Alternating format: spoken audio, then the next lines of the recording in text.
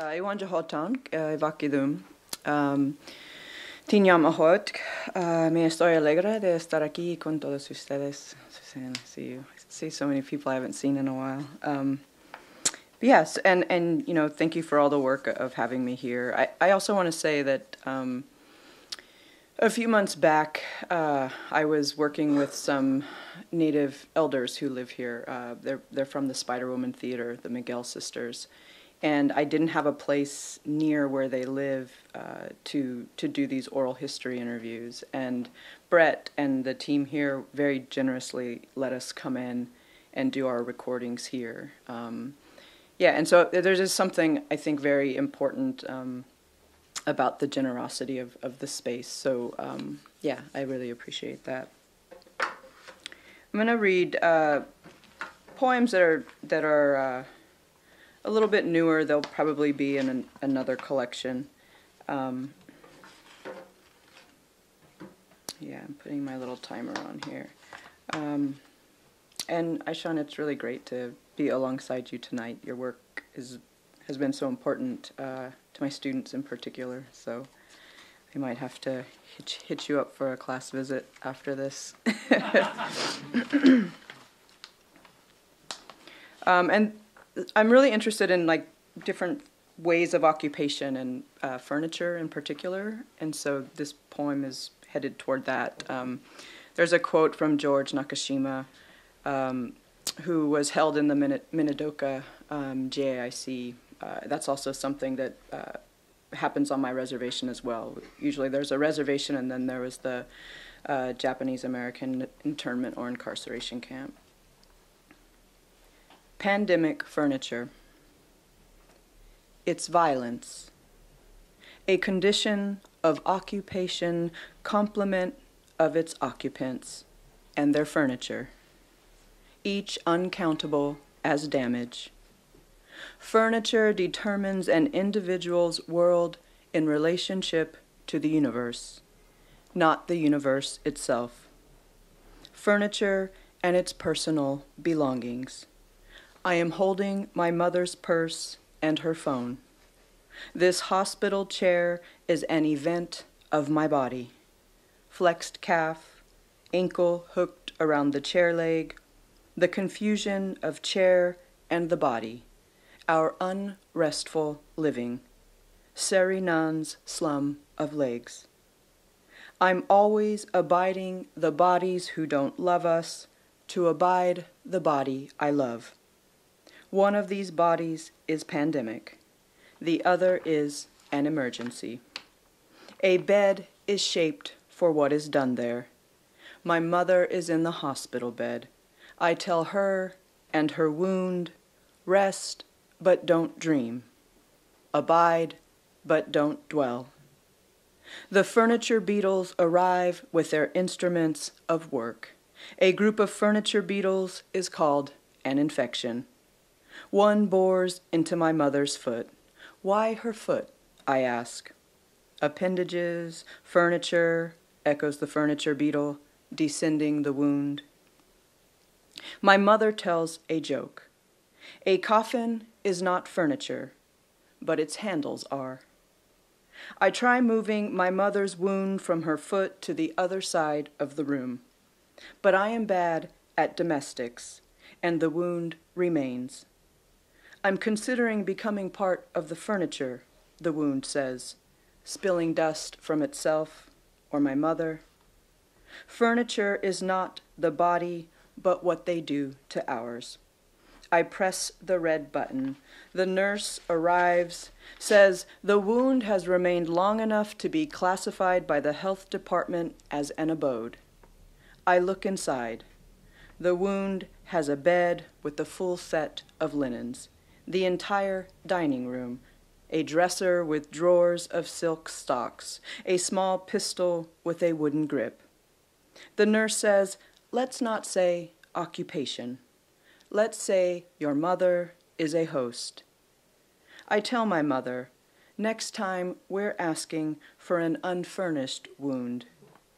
My mother says they don't require a table and chairs to make use of us.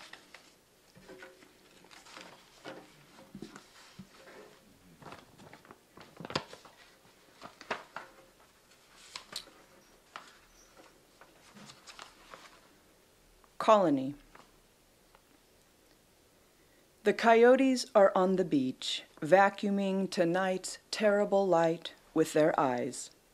They puncture the river's sleep with holes of blue green eyeshine. The river rolls over, awake. The coyotes are baptizing the rabbits, dunking them in the shallow water. The rabbits play dead in the coyotes' mouths, but jolt and cry out when they break the water. The river is cold, and they shake, the rabbits. I've never seen a rabbit swim, and no rabbits will swim tonight. The river, because it is the scene of their crimes. The river, because it will clean us of what the rabbits have done. The rabbits are not from here. They come from another territory of night, from a different moon. The rabbits are white, which is not a color, but how fast it twitches.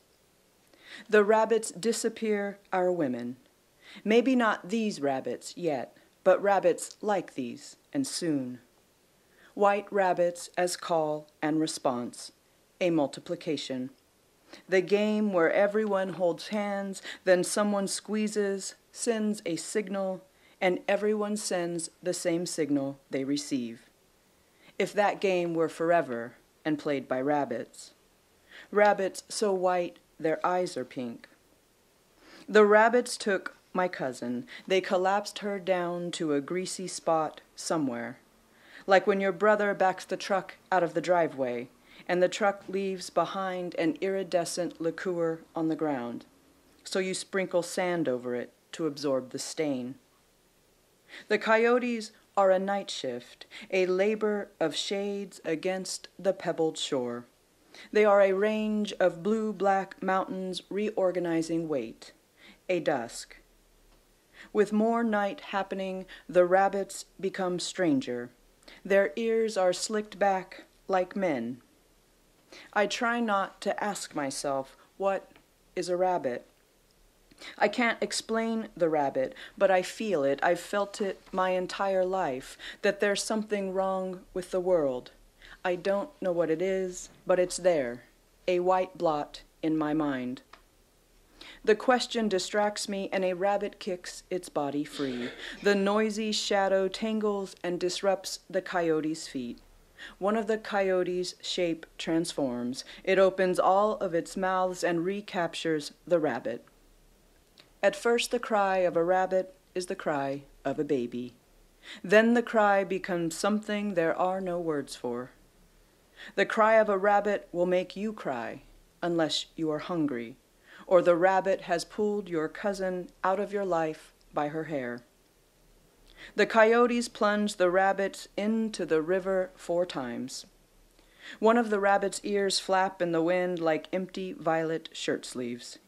Each time they are sunk in the water, the rabbits become more quiet. The silence embers the coyote's eyes copper chrysocolla.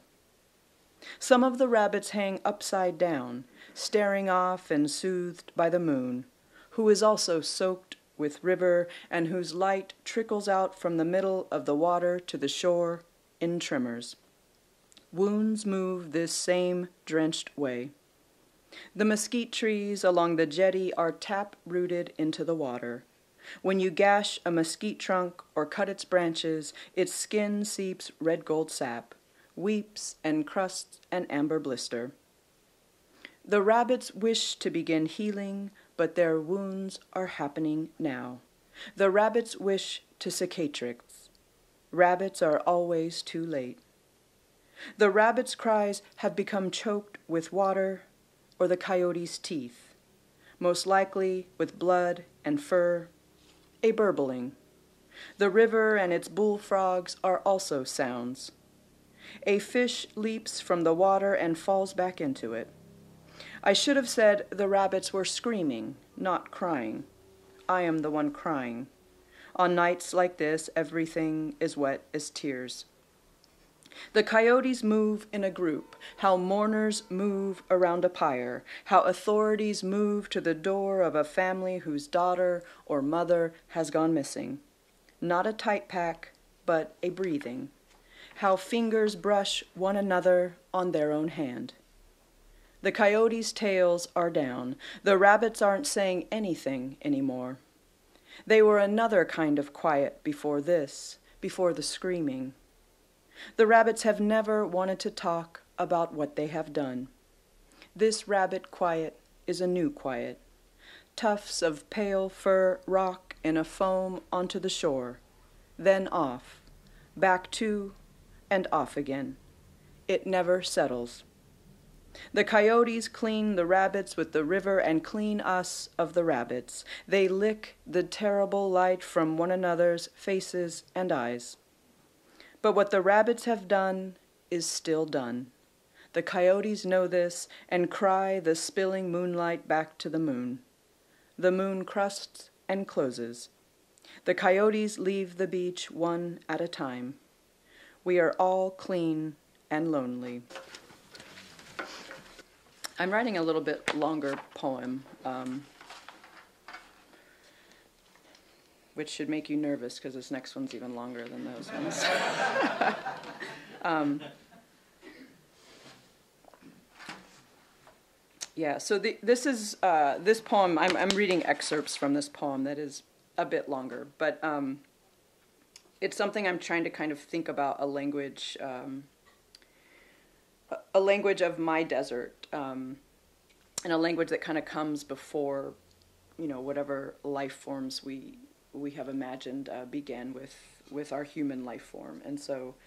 Um, yeah, this is uh, this poem is called Duned. Uh, the dunes are an important place where I come from because it's where, um, I mean, the Colorado River has dumped silt for hundreds and hundreds of years. Now it's, of course, endangered, but it's dumped silt all across uh, the valley where I live, and so there are lots of dunes.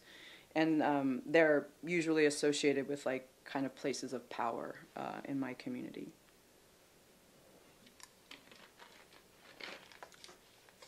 And so this is kind of a series of just of images, and I'm I, am i am kind of investigating what happens to to the eye in this poem.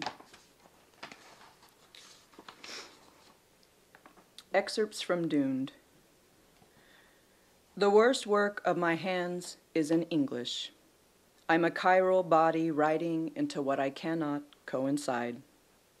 I've come to the mountain to bless these hands back, clay, clod, and gypsum, a way my body has been and will become. I rename one hand occupied territory, call to the other a Monteverde and the mountain sobs its hornblende to the surface. I am known in this place of creation and cascabel.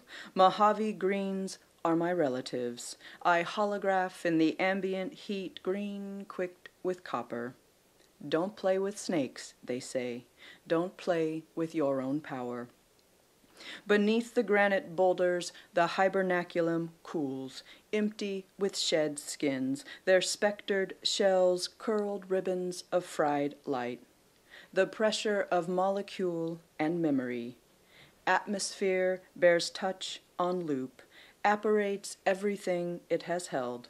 The salted swastics of their bodies, thick, rope heavy, a scent you have to lift my fleshlight cleaves their old energy eyes, slips each slit of limonite and aperture. In them I am struck, a fever image. They coil into their handless work of transmutation, into radio sensation, rattling the hair on my forearms.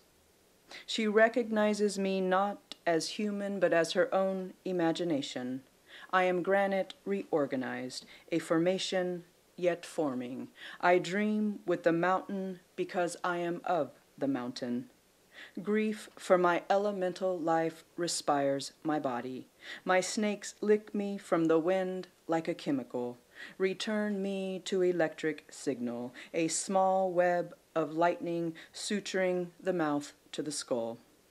Pleasure, unlanguaged, and noise. I was dreamed into being. I was the dreamer. Skin fleshes the world it's made of in overwhelm. Cloud shadow drifts a gray whale across the salt flats. A periphery of white halite crust surrounds its slow shade. My lover crystallizes this same way along the ridges of my knuckles and back of my hand, the dorsal side, as we also call a fin. I surfaced from deep submersion. There is no pleasure not earthen or wet. Ancient ocean, we say, and we mean every body. Sand's gentle crust of berm edging the wash, the desert a hot pie, juiceless yet swelling mirage. The neon red sign of a jackrabbit's spine eaten to its glow, dropped from the sky, flickers in the bleach light gushing the open land. How much love can a desert drink to bone? How many bodies pressed beneath this tectonic pie? A shelled vehicle in landscape, rust burning, slow bleed of oxide having laced the chassis, licked the light bucket to its chrome edges. A ram's scattered skeleton, empty lake of pelvis, desert grapevines threading the bone sockets, tugging the jaw V deeper into the canyon. Its broken horn is a curl of gold telephone I hold to my eye. I am dislocated. Some knowledge is not mine, some is, but I haven't arrived there yet. A long time ago, the wind licked the coyote's skull to glass. This is how we happen. Atom born, I bend back the atom world. My inheritance is hydrogen, how rain and clouds happen to one another. Wet, though risen up from dust, abundant. We have no word for God. It is sky because someone said it was. Until then, it was only what was in it giant fish with pharyngeal teeth, orange sand, sand clouds, and amo. The bighorn sheep made of stars and staggered spear still warm from the warrior's hand, its shattered torso notching the night. The first wound was a clock, our hunger. We ate the mountain sheep. Now our moon is a curve of cold fat congealing on a blued bone and lives in daylight, diurnal leftover. Over night's black dunes we follow the trail of Amo's white face. If I speak of love, who will believe me? The only poets in this desert are Beryl and Jasper. Thunder is not thunder, but the air broken by lightning my lover backlit like a thunderhead, strapped with night until the softness of her hips disrupts, her light wet hands and cock. I am the sound I make breaking in a room. We are always becoming from somewhere.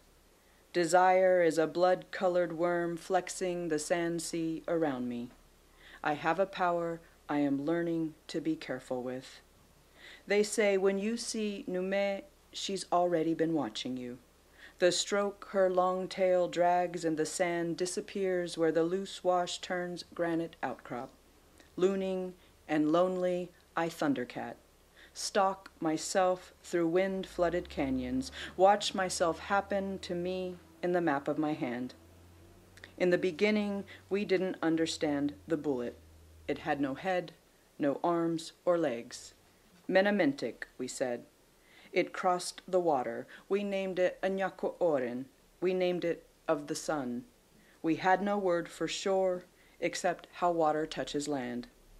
They gave us the word for shore for their bullet to arrive on, then said our flesh was also shore. So we called the bullet bullet. We name things for what is done there. The injuries of becoming human. Tuachk a shoulder blade from turtle shell, hand from wing, the carpus erupting petals of wrist, bone flower, flesh.